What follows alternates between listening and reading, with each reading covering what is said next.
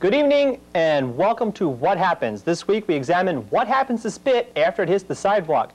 To examine this phenomenon, we have renowned spitologist Dave Markov. Dave, welcome to the show. Thank you very much for having me. Well, Dave, let's get down to it. Just what happens to spit after it hits the sidewalk? Well, let me ask you this. What kind of spit is it? Is it the real mucousy type or the real bubbly type, like you, the kind you get after you drink a quart of eggnog? Well, let's say the real bubbly type, the type that you would get after you drank a quart of eggnog. Well, with that type, then, actually not much. You see, that type is mainly all air. After the bubbles pop, there really isn't that much to it then. Uh, and despite what you might think, the bubbles do pop rather quickly. No kidding. No, seriously. It's only a matter of a few minutes at most. I never knew that. It's true. Well then, okay then, what about the real mucousy type? Ah, now you're getting to the meat of spit. Oh yeah? Oh yes, positively. The more mucus and less saliva, the better. Positively nasty stuff can happen with this kind of saliva. Really? Oh yes. Now the least exciting thing that can happen to it after it hits the sidewalk would be that it would rain out or that it was raining at the time of the spit itself. If it was raining or it rains soon after the spit, basically nothing happens. It, uh, it gets washed away. But, Yes? but if it's hot, really hot, like it was this past summer, a lot of things can happen. Like? Well, its lifespan expands tremendously. Um, it hardens, and what it does, it seals itself tight to the sidewalk, using every pore of the sidewalk to fasten itself.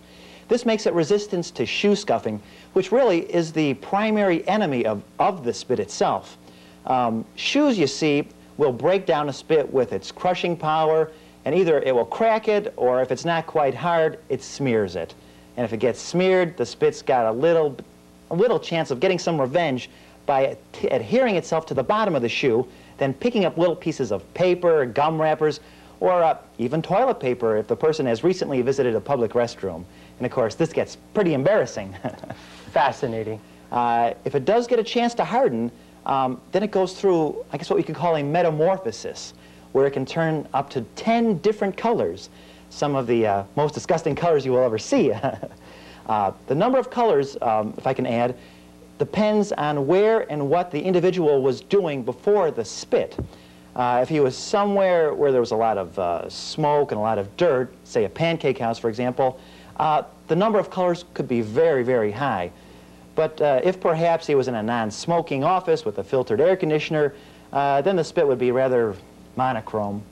Well then I guess then for the spitologist, the best one would be from someone who, let's say, works in construction or uh, a lumber mill. Oh, now you're making my mouth water.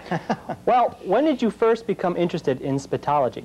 well, really, it was when I was younger, uh, playing baseball through a Little League system. Uh, and it developed from there. What can I say? Um, the discovery of chewing tobacco had a profound effect on my life. Well, I, I can imagine.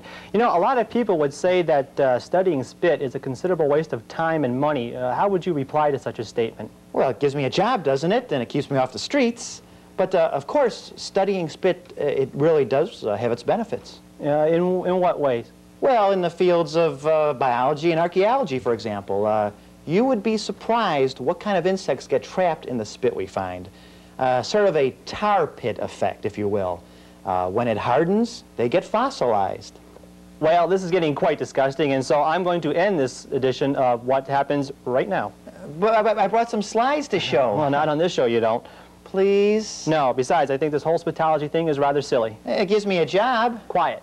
It's absurd, it's gross, it's sick, and I think it's a terrible subject for a show. Well, then why were you so nice to me before the show and you, you said all those nice things that you were glad to see me? Well, you see, I only said those, uh, I only saying these things so we don't get letters a little later on about how stupid and awful this uh, segment was. Oh. Besides, I bet you I'm not the only one who thinks this spitology idea was a terrible thing. I didn't think it was a bad idea, at least not as bad as an insane war tomato concert. Insane War Tomato concert? I'd go if I had earplugs and I was heavily armed, sedated.